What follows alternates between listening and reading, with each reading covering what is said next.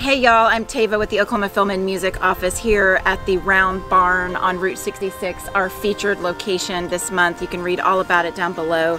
So for everyone who tunes in to our monthly newsletter or with us on social media, thank you so much and we hope that you are all staying well during this time.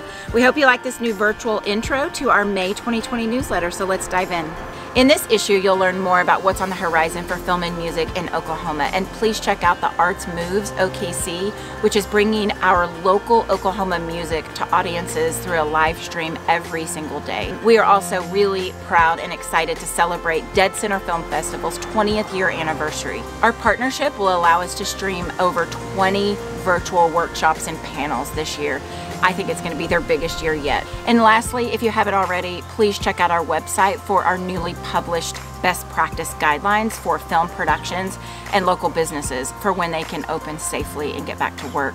And because it's more important than ever before that we stay connected, we invite you to share this newsletter to your friends, subscribe to our social media platforms, including YouTube. Like us, share, um, so that everyone can get the latest news when we release it. Stay safe, everyone, and know that we are here to support our entire workforce coming together soon.